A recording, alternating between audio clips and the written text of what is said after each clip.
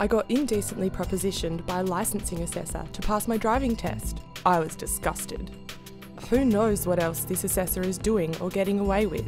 I thought it might be easier to just forget about the whole situation, but I would feel responsible if something really bad happened to someone else. I didn't think that my complaint would be believed over the assessor's word, so I let the Triple C know.